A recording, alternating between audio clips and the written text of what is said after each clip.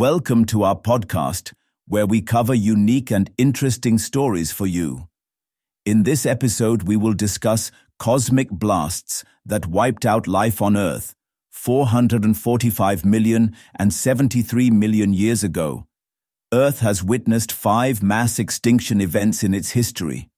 The one that killed the dinosaurs 65 million years ago is one of the best known ones.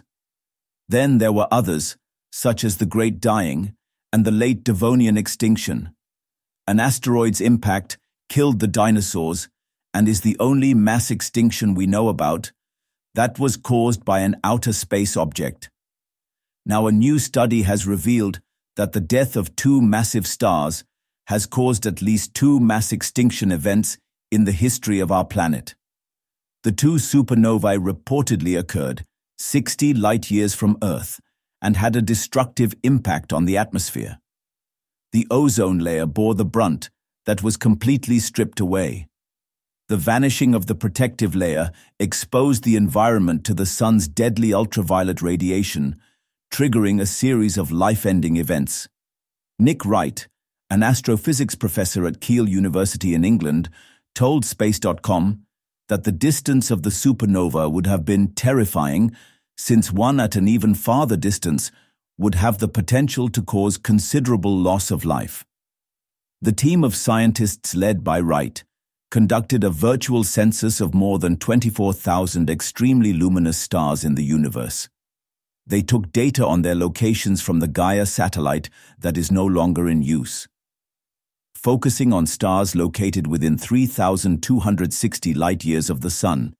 The study aimed at identifying new groups of young, massive stars and reconstructing nearby star formation history.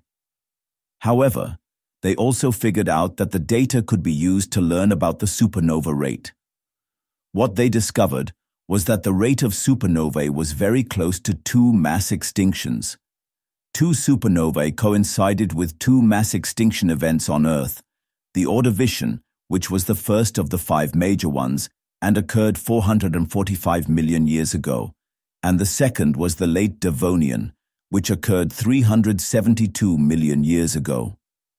Plausible explanations for the events had been lacking till now, but the previous discovery of the radioactive isotope iron-60 in cosmic dust found in Antarctic snow and from the surface of the moon hinted that an interstellar event could be the only source.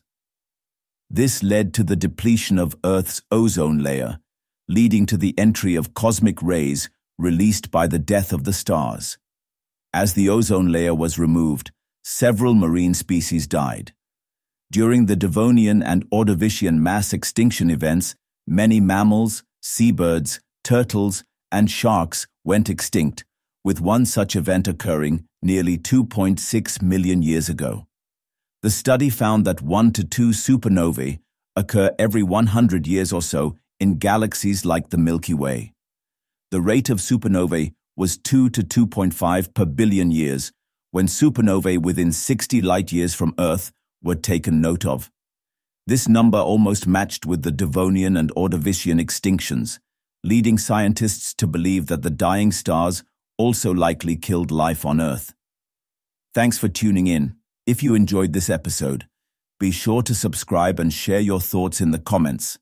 Stay connected for more exciting discussions and updates in our next podcast.